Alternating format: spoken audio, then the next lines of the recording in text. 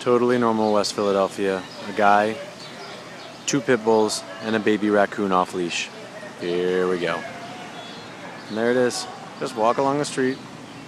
No big deal.